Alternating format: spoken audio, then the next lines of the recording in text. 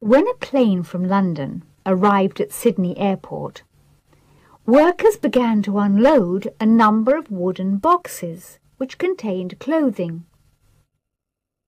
No one could account for the fact that one of the boxes was extremely heavy.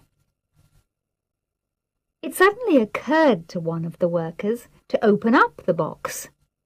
He was astonished at what he found. A man was lying in the box, on top of a pile of woolen goods. He was so surprised at being discovered that he did not even try to run away.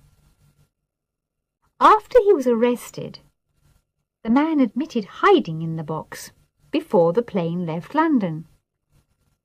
He had had a long and uncomfortable trip, for he had been confined to the wooden box for over eighteen hours.